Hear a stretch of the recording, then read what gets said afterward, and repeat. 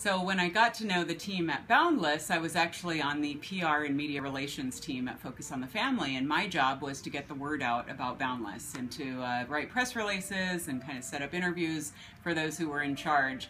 And I remember at the time they found out that I was single, and so they started asking me about my life and kind of where I was and what I was doing, especially in the relationship sphere.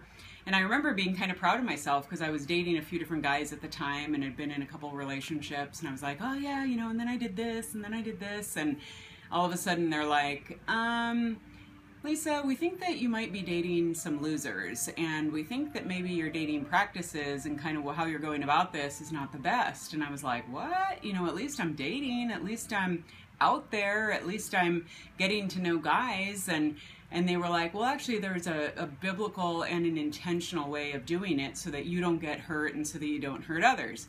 And uh, through the course of many conversations and then starting to read Boundless articles, um, I was able to really learn that, oh, yeah, maybe some of the ways that I was doing things weren't the best.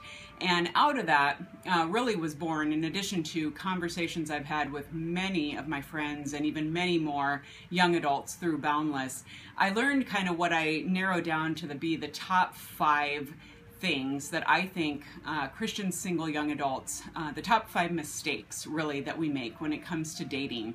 And I outline those in my chapter, Five Reasons Your Love Life is a Disaster or Doesn't Exist. So